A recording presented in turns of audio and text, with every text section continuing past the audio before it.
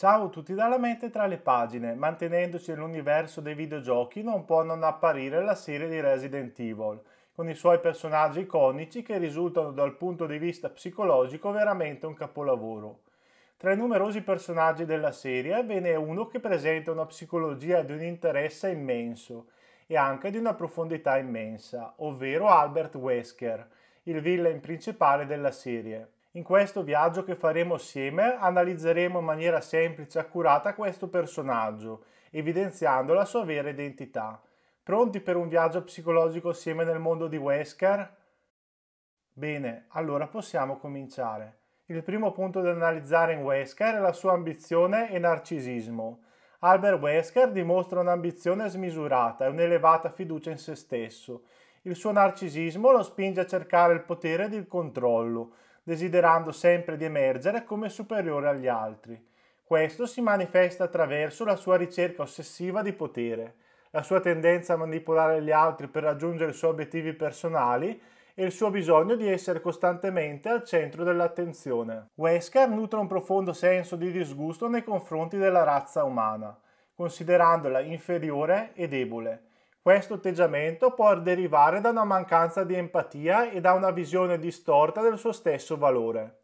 Mostra una freddezza emotiva e un disprezzo verso gli altri, trattandoli come pedine da manipolare nel suo gioco di potere.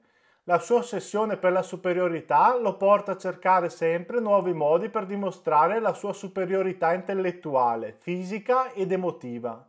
Ciò ci denota che sotto la sua arroganza e spavalderia il personaggio nasconda un fortissimo senso di inferiorità che tenta in tutti i modi di nascondere. Il personaggio di Wesker si distingue per la sua abilità nel manipolare gli altri e nel condurli secondo i suoi fini. Utilizza l'inganno come strumento per raggiungere i suoi obiettivi personali, dimostrando un'abilità notevole nel mascherare le sue vere intenzioni. Mostra una grande destrezza nel convincere gli altri ad agire secondo la sua volontà, utilizzando il suo carisma e la sua eloquenza per ottenere ciò che desidera. Wesker mostra una chiara mancanza di empatia e di capacità di comprendere le emozioni degli altri. Le sue azioni sono guidate dal suo egoismo e dalla sua ricerca di potere, senza prendere in considerazione il dolore o il danno che può causare agli altri.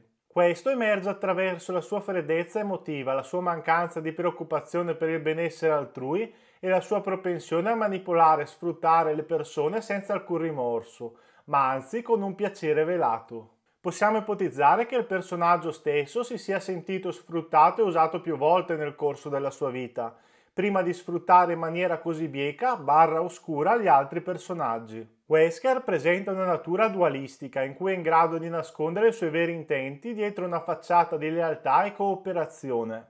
Questa contraddizione interna rende il suo personaggio ancora più complesso e ambiguo mostra una capacità di adattarsi alle situazioni e di agire in modo calcolato per raggiungere i suoi obiettivi, anche se ciò implica tradimenti o azioni controverse. Questa dualità è evidente nella sua capacità di spostarsi tra il ruolo di alleato fidato e quello di nemico spietato. Siccome gli occhi sono lo specchio dell'anima, il suo tenerli costantemente e perennemente coperti e oscurati dagli occhiali da sole ci indica che Wesker faccia di tutto per nascondere le sue emozioni e sentimenti, gestendo e tentando di gestire anche i suoi piccoli movimenti, assumendo anche spesso una posizione corporea molto rigida ed inflessibile, dietro gli abiti rigorosamente neri. Ciò, oltre a nascondere la sua fragilità, lo rende anche molto più impenetrabile agli altri personaggi. Wesker sembra soffrire di una mancanza di identità propria, la sua incessante ricerca di potere e controllo potrebbe essere una compensazione per una mancanza di autenticità e di senso di sé. Mostra una mancanza di coerenza nelle sue azioni e nelle sue convinzioni, adattandosi continuamente alle situazioni e personaggi che incontra.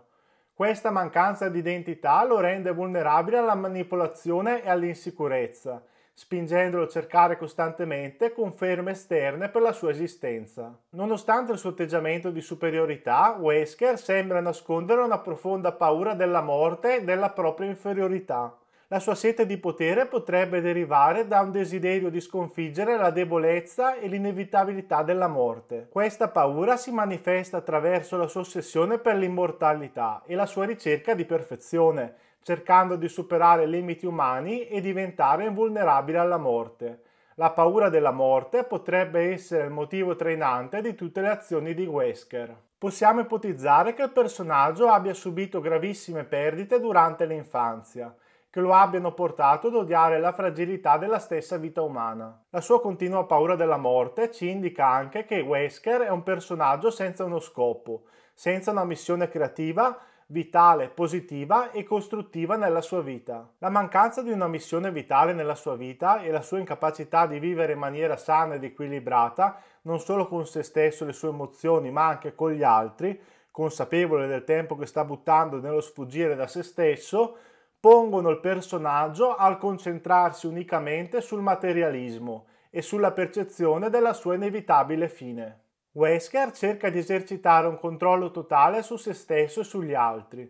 Il suo perfezionismo lo porta a cercare costantemente il miglioramento e l'evoluzione a livello fisico, anche a costo di sacrificare la sua umanità. Questo si manifesta attraverso la sua ricerca di perfezione fisica e il suo desiderio di eliminare qualsiasi debolezza o imperfezione sia in se stesso che negli altri. In parole semplici, Wesker proietta il suo senso di inferiorità come umano utilizzando il meccanismo della generalizzazione a tutta la razza umana. Il suo controllo ossessivo si estende anche alla manipolazione delle situazioni e delle persone intorno a lui, cercando di dirigere ogni aspetto delle loro vite per soddisfare i suoi scopi. Sotto la superficie della sua calma apparente, Wesker nutre una profonda rabbia e un risentimento verso l'umanità. Questi sentimenti possono derivare da esperienze passate di tradimento o delusione, che lo hanno spinto a distanziarsi emotivamente dagli altri. Questa rabbia si manifesta attraverso la sua freddezza emotiva, il suo sadismo e la sua determinazione nel causare sofferenza agli altri. Il suo risentimento si alimenta dalla percezione di essere stato ingiustamente trattato o sfruttato, spingendolo a cercare vendetta e a dimostrare la sua superiorità attraverso la manipolazione e il controllo. Pur di non guardarsi dentro e comprendere le proprie emozioni, Wesker è pronto barra disposto a diventare un essere seppur immortale, privo di qualsiasi qualità umana e sentimento, ma dedito solo ed unicamente alla crudeltà e alla sofferenza di se stesso e degli altri. Questo suo delirio di onnipotenza, di diventare un dio del nuovo mondo da lui creato, ci indicano ulteriormente la sua enorme fragilità e ci risottolineano la profonda e fragile psicologia di questo personaggio di nome Albert Wesker. Bene, siamo arrivati alla fine del video. Vi ringrazio per la vostra compagnia in questa analisi, in questo viaggio meraviglioso nella mente di uno dei cattivi più ben caratterizzati di sempre. Io vi invito a iscrivervi al canale se non l'avete ancora fatto e a condividere il video con altre persone che potrebbero essere interessate all'analisi psicologica dei personaggi immaginari che più amiamo. Noi ci vediamo nel prossimo video, un caro saluto dalla mente tra le pagine. Ciao e grazie ancora. Ciao.